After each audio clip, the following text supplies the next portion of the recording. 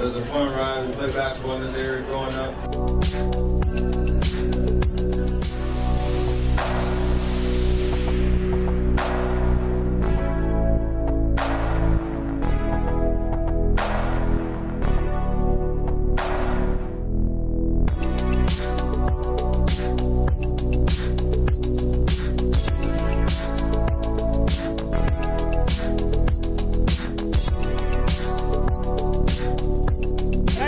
sir. Nice to meet you too. Yes, sir. Hey, Calvin. How you doing?